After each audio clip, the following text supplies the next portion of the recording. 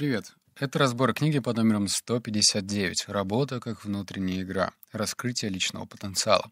В этом выпуске тебя ждет 7 выводов, и они про спорт. Но хочу заметить, что ну да, это начинается книжный бухтеж. Стоит ли тебе читать подобную литературу? Да, стоит. Она вроде как бы про спорт. Да и написал ее не бизнесмен, и даже не инфобизнес-тренер, а именно тренер по теннису. Но в то же время все эти советы, а точнее те высказывания, которые я выписал, они прикладные. То есть ты можешь услышать, переосмыслить и переложить на свою плоскость. Ну вот, в плане бизнеса или жизни. Они действительно любопытные. Так что не с той точки зрения, что да, расширю-ка я кругозор, а просто потому, что, кажется, бизнес имеет свою формулу. Ой, господи, что я говорю, бизнес. Спорт имеет свою формулу. Для того, чтобы стать чемпионом, нужно усердие, нужна техника, нужен точечный подход и что-то еще. Секретный ингредиент. И именно эта книга обещает этот секретный ингредиент показать. Вот мы сейчас и проверим. Переходим к выводу номер один. Мне пришло в голову, что в голове играющего происходит диалог, внутренний разговор, похожий на внешне со мной.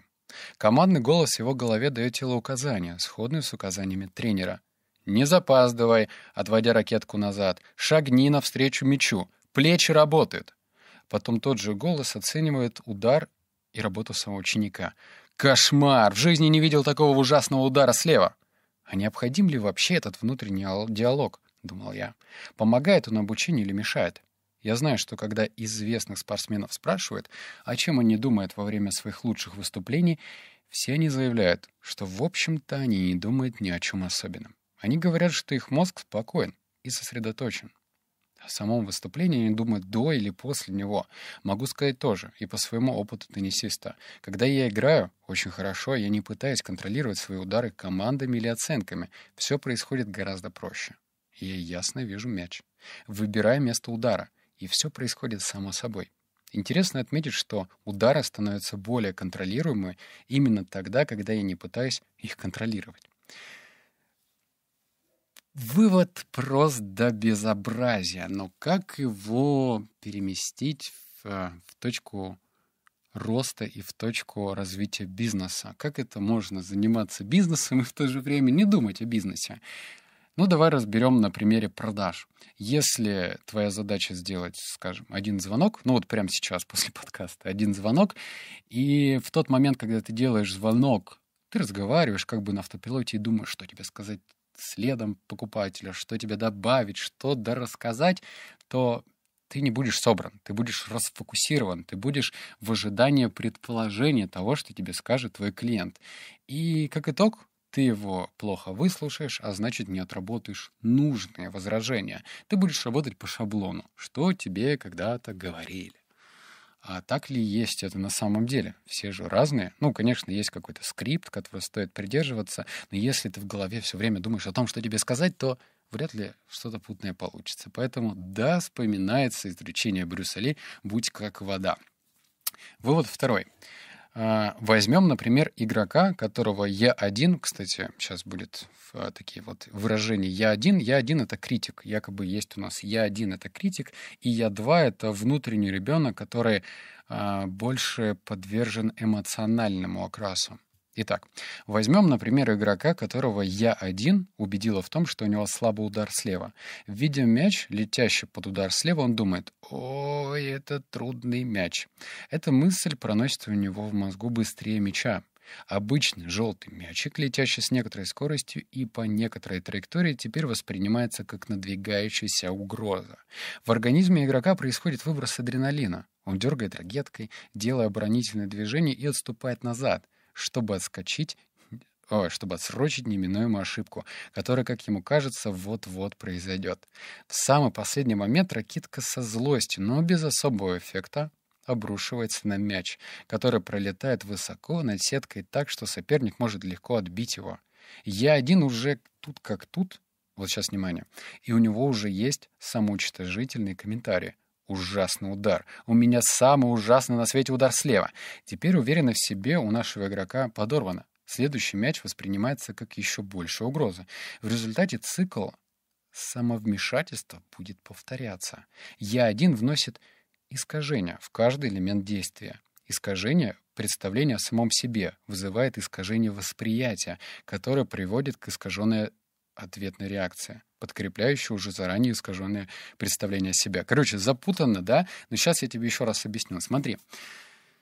Все воспринимается в контексте. Представь себе цепочку. Вот, вот тех э, дядечек лысых из 90-х в малиновых пиджаках. Вот у них такие здоровенные э, цепи золота, так?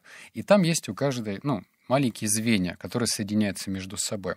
Вот и представь, если он рассматривает пример тенниси, теннисиста, он выходит на корт и отбивает.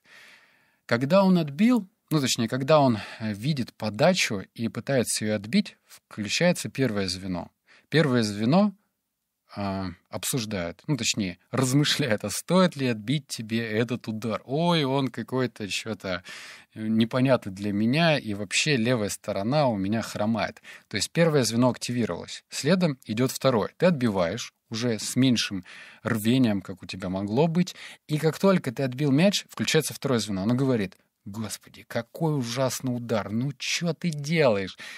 Третье звено. Ты пока размышляешь на эту тему, не обращай внимания на то, что твой соперник уже отбил мяч, и он летит в твою сторону. Включается третье звено и так далее. Короче, это какая-то лавина бесконечной э, головомюсль в твоей голове лучший результат э, про первый вывод. Вообще не думать про это. То есть выбросить всю эту рундистику из своей головы. Потому что здесь есть цепная реакция. Ты только позволяешь себе размышлять о том, что у тебя не получилось, или, возможно, какой у тебя там слабый удар, или что-то еще, и все, начинается коллапс. Берегись, берегись. Так что попытайся все-таки этого избежать. Вот номер три. Моя задача заключается в том, чтобы не только сделать конечную цель как можно более ясной, но и обнаружить скрытое назначение и мотивацию для достижения этой цели. Позволить ученику лучше осознать выбор, который он делает, и причина этого выбора была для меня существенной частью процесса обучения. Ученик чувствовал, что он получал больше возможностей контролировать себя, и его естественной реакцией было взять на себя больше ответственности. Сейчас Внимание. Проявить больше инициативы и творчества для достижения своей цели. Не менее важно, что это значительно уменьшает сопротивление переменам, которое было свойственно старой командно-административной модели. Как говорится, действие равно противодействию. Человечес, э, человеческому существу свойственно сопротивляться вторжению в его пределы. И если сопротивление не выражено прямо, оно будет проявляться косвенно. Как бы то ни было, сопротивление разрушительно действует на желаемый результат. Учеников, привыкших к командно-административной модели, большая степень свободы часто смущает. Но когда ученик понимает, что учитель не будет оценивать его выбор, как плохой или хороший, он берет ответственность за себя. Вывод про то, что мы учимся все-таки лучше, когда нами не командуют, как марионеткой. Ногу сюда, корпус сюда, развернуть плечи так, а именно направляет нас. Давай живой пример. А, недавно я ходил в стрелковый клуб. Это был такой своеобразный челлендж из моего подкаста «52 недели одержимости». Я стрелял из настоящих пистолетов и автомата. И, конечно же, человек, который, блин, никогда не держал пистолет в руках, а он, я тебе скажу, вообще не легкий, и отдача у него, мама не горю, точнее, знаешь, она ну, вменяемая отдача, но когда ты этого не ждешь, и в детстве ты держал только пластмассовые пистолеты и стрелял маленькими э, пульками, то, блин, отдача от выстрела и порох, который там появляется, это тебя, мягко говоря, смущает. Так вот, я стреляю, и куратор или, я не знаю, тренер по пулям, по пистолетам, он стоял и направлял меня. Это, знаешь, такой мужик армейского сложение, он такой, так, ты чё? Ну-ка, держи, руки, руки, стреляй вот в эту сторону, отводи курок, сейчас хрести тебе, давай, давай. То есть это было вот так. И он мне один, точнее, наверное, раз пять повторял о том, что после выстрела я пистолет опускаю вниз, то есть он у меня стремится в пол. Ну, не буквально в пол, но он у меня все время э, дуло опускается. Я вообще его не понимал, точнее, ну, как? как? Потом он сделал видео, ну, то есть взял мой телефон, записал это на видео, и оказалось, что, э, я не знаю, видимо, как тебе сказать, в общем, есть курок, настоящих куроков пистолета, и он тоже металлический, то есть требуется за счет того, что у меня длинные пальцы, у меня, видимо, я не знаю, нажим происходил с помощью кисти, и за счет того, что я нажимал с помощью пальца и кисти, у меня рука автоматически наклонялась. То есть я увидел это со стороны, и первые вот эти административные его советы, типа «давай, давай, давай, ба я их вообще не воспринимал. То есть я превращался в марионетку и отключался. Но когда он мне это показал, я смоделировал в голове, что я делал не так. И произошло чудо. Ну, точнее, как чудо. Я не стал стрелять, как э, Нео из «Матрицы», но, по крайней мере, я понял, что можно не опускать пистолет. Так что вывод действительно хорош. Я не знаю, насколько у нас много профессионалов, в смысле тренеров, которые умеют делать так же, но этому стоит поучиться. Вывод четвертый. Очень скучная работа оператора. Мы попросили операторов э, оценить степень теплоты, дружелюбия или раздражения звонящих по шкале от 1 до 10. Маленькая предыстория. В общем, э, как итог, почему мне понравилась середина книги и концовка, Значит, автор рассказывал про то, что взяли в крупную компанию и поставили задачу как раз-таки поднять уровень вовлеченности этих самых операторов, ну, чтобы поднялась качество обслуживания клиентов. Сложная задача. Ну вот и начал разбирать это. Затем операторы учились выражать разные чувства собственным голосом. Это было похоже на обучение актерскому мастерству и было занимательно. Когда эти два упражнения объединили, это стало довольно интересной игрой. Например, если оператор э, различала в наушниках уровень стресса 9, она могла ответить звонящему с теплотой в голосе, соответствующей уровню стресса, то есть тоже 9. В большинстве случаев уровень стресса в голосе звонящего при прощении значительно уменьшался. Кто работал когда-то, не знаю, в, в отделе поддержки, мне кажется, это адская работа. Она неинтересная, и жутко бесящее, потому что, как правило, звонят раздраженные люди, мол, блин, у меня сломался интернет, у меня сломался компьютер, или у меня что-то... То есть люди всегда на негативе. И, конечно же, э, у, у таких людей, которые работают в поддержке, у них не часто, точнее, нередко появляется выгорание. И просто какое-то отупение от того, что, что постоянно людям от меня надо. То есть всю злость направляет в твою сторону. Что сделал автор? Он сказал, что давай будем относиться к процессу звонкам как к игре. Может быть, даже раскачаем свое актерское мастерство. То есть мы должны в момент телефонного разговора оценить от 1 до 10 голос собеседника, насколько он расстроен. И если он расстроен, например, на восьмерку, то есть близок к тому, чтобы разрыдаться, я не знаю, то мы должны тоже подстроиться под него и на уровень 8 голосом, да, голосом продемонстрировать свою заботу. То есть, во-первых, прокачивается навык слушания, потому что мы начинаем оценивать. А во-вторых, органы чувств. То есть, э, ну, недаром говорят, что если ты хочешь что-то запомнить, либо усвоить информацию, тебе нужно включать несколько органов чувств. То есть не просто слушать, но желательно включить еще там кинестетику, что-то трогать. Или слушать и видеть, или там слушать и включать образное подобие, я не знаю, вещей. Вот. И таким образом люди начали э, больше и внимательно выслушивать людей и давать им точечные рекомендации. Кстати, вот вывод пятый, он как раз-таки продолжение или шестой, не помню. Как и в теннисе, внутреннее вмешательство снижалось благодаря более высокому уровню наблюдения за происходящим в окружающей среде. Игра была забавной и самоподкрепляющейся. При этом от супервайзеров не требовали, чтобы они ввели ее в обычную практику. Операторы играли по своему усмотрению и, по их словам, продолжали играть даже в нерабочей обстановке. Вскоре многие поняли, что могут применять новые навыки слушания в общении в семье с друзьями. Когда же были получены внешние оценки вежливости, они произвели впечатление на всех участников. Рейтинги вежливости повысились гораздо больше, чем ожидало руководство, несмотря на то, что операторы не стремились быть вежливыми. Операторы учились слушать и лучше выражать свои чувства. Им было весело.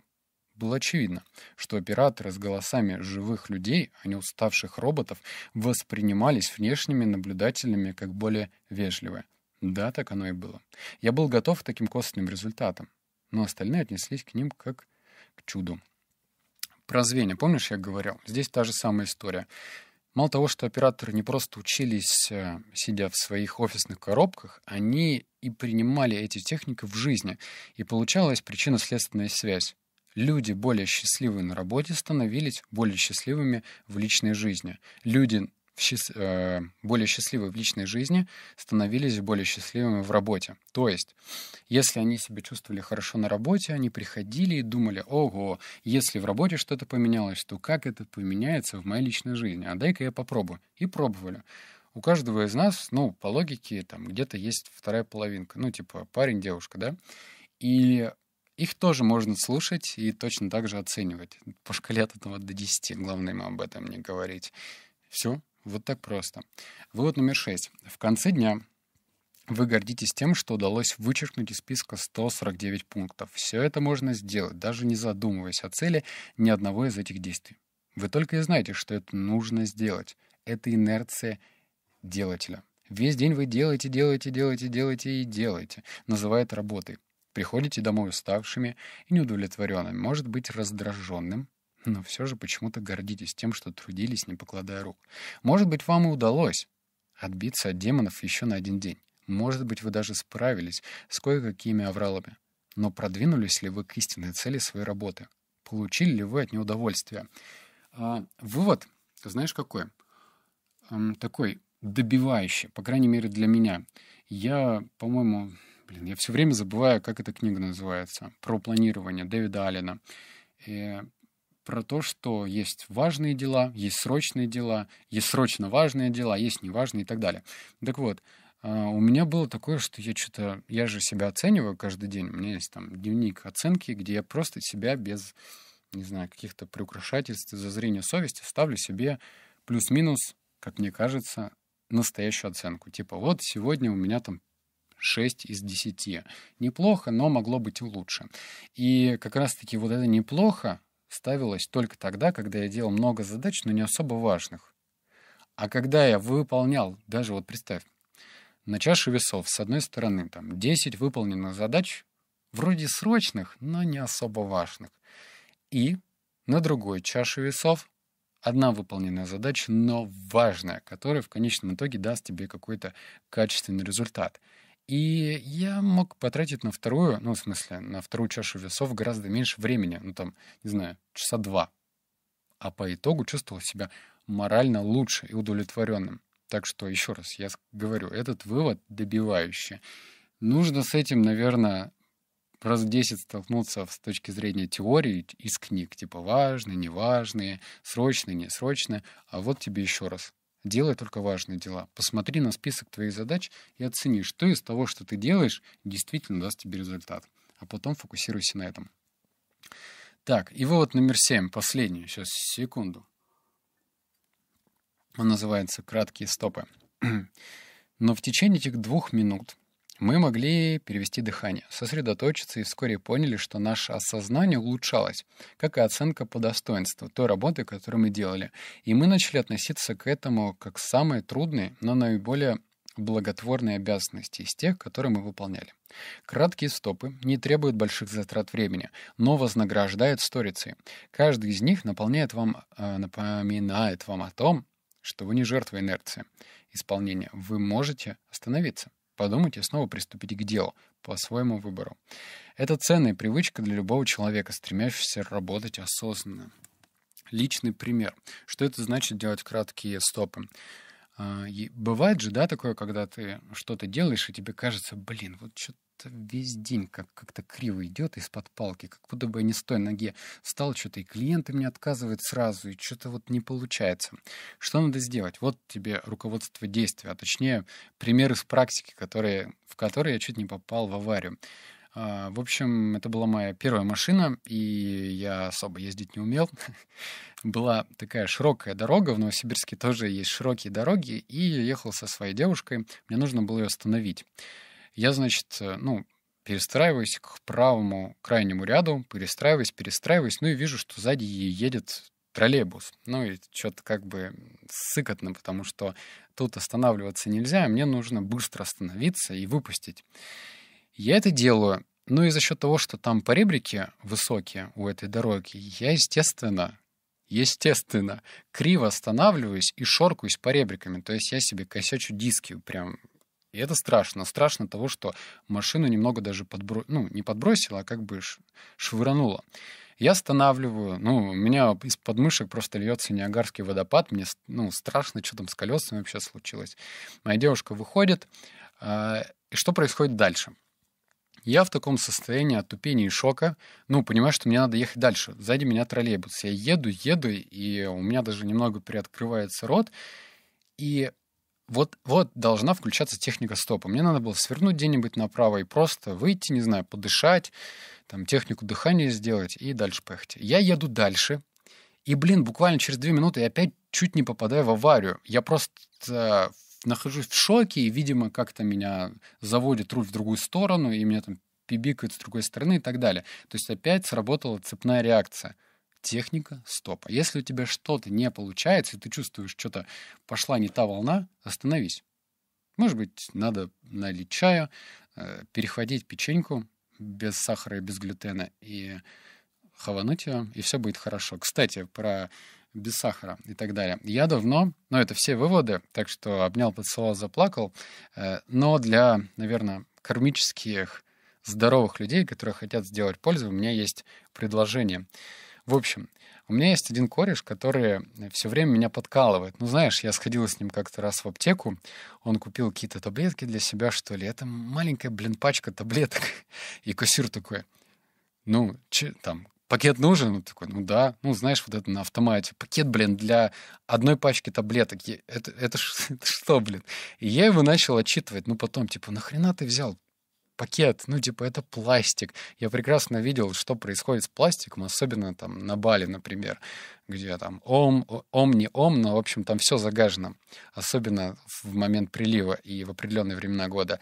Ну, в общем, я ему рассказываю, рассказываю, и он меня периодически подкалывает. Вот, мол, по-моему, неделю назад или когда там э, танкер с нефтью перевернулся под э, Красноярском вроде. Еще там дня три назад рядом с э, Камчаткой и он мне говорит, слушай, вот твои вот эти задротские приключения о том, что нравоучения, что не надо там пакетик брать, вообще меркнут по сравнению с тем, что вот какой пиздец приходит вообще природе.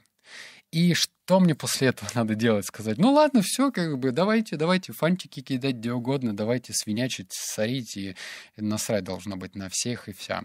Нет. Я думаю, что нам нужно сделать еще больше усилий. Мало того, что я говорил про то, что хватит брать, блин, эти дурацкие трубочки, если вы пьете кофе. Вообще, пожалуйста, не надо брать эти трубочки. Не надо, особенно если ты пацан. Это по-гейски выглядит. Вот херню это в губы засовываешь, это же пластик. Но у меня пришел еще один инсайт, где мы можем сделать максимальное добро и все бесплатно. Короче, мы же пьем воду, правильно? Ну, в бутылках. У меня, кстати, стеклянные бутылки, но все-таки бывает, я в магазинах покупаю. И в Европе я, например, замечал, что прямо на контейнерах мусора есть схемы, что делать с бутылками. Э, открывают колпачок и выдувают из них воздух. Это делается для того, чтобы бутылка занимала меньше э, места в мусорном баке. Да, еще раз, это задротская техника, но, блин, она занимает всего 2 секунды времени. То есть, если ты часто пьешь колу, не колу, там всякие минералки, лимонады, то, пожалуйста, просто в следующий раз, когда ты будешь его выбрасывать в свое мусорное ведро, ты же можешь взять, в, выкачать воздух, ну, в смысле, там, нажать на нее и сделать эту бутылку чуть меньше. По крайней мере, ты будешь в совокупности выбрасывать мусор реже, а значит, нагрузки на мусорной свалки будет меньше. Да, это капля в море, но если кто-то из осознанных людей сейчас прослушает и сделает так же, как это делаю я, блин, я тебя респектую. Вот прям обнял тебя именно, поцеловал, но не... Нет, если ты парень, не целовал и, и заплакал. Вот горжусь, что мы такие есть. Все, давай нести добро, ладно? Ну, хоть какое-то, минимально. Все, давай, пока.